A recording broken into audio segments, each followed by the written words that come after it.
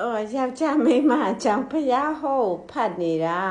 အဲ့တော့ယောက်ျားမိန်းမตายရတဲ့အာယုန်နေအာယုန်တွေကတအားဆွဲဆောင်မှုကောင်းတော့တဲ့အပြစ်တွေပေါ်လာတယ်တဲ့အာယုန်အသစ်တွေတွေ့ရင်လေတဲ့လူတွေကစိတ်မထိန်နိုင်တော့ဘူးတဲ့အမှန်မှစိတ်ထိန်ရမှာတဲ့အဲ့တော့တချို့တွေကလည်းနောက်ထပ်အာယုန်အသစ်လေးတွေတွေ့တော့လေအိမ်ကမိန်းမကြီးကိုခါတဲ့အထင်မကြီးပြန်မှုအာယုန်အသစ်ကိုရှာကြပြန်ရောတဲ့အဲ့တော့ဒီမှာ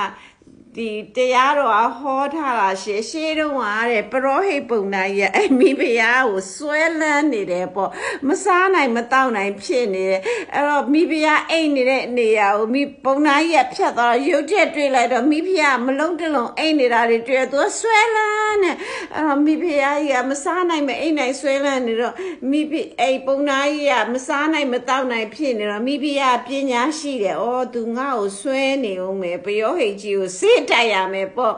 အဲ့ဒါနဲ့ပယောဟိတ်ကြီးလာခဲ့ဆိုပြီးမြေကွက်ရဲ့ငွေကက်ရဲ့ရွှေကွက်ရဲ့သုံးကွက်ကို ပုံရည်လေးထည့်ပြီးတော့တစွန်းစာစီတိုက်တယ်မြေကွက်ကိုတိုက်တော့ဘယ်နဲ့လဲဆိုတော့ပုံနာရဖန်တန်တန်ပါဖျားတယ်အဲ့ဒါငွေကွက်နဲ့တိုက်ပြန်တော့လေ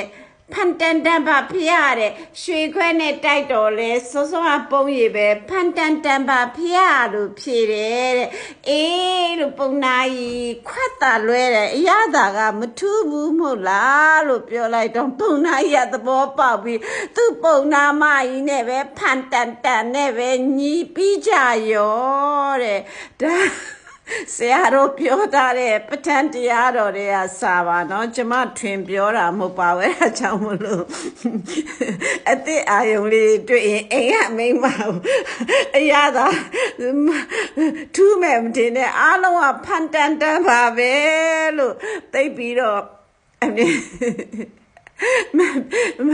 မပြစ်မှားကြပါနဲ့အမားတွေမလှုပ်ချပါနဲ့လို့အဲ့ဒါမြတ်စွာဘုရားရှိကြတဲ့ကစိတ်ကိုထိမ့်ဖို့စိတ်ကိုထိမ့်ဖို့ကိုပေါက်လွတ်ပေးလိုက်တယ်ဆိုရင်အိမ်တောင်တွေလေတဲ့လကွဲကြမယ်ပေါ့အဲ့ဒါစိတ်တွေရှုပ်နေတာအဲ့ဒါကို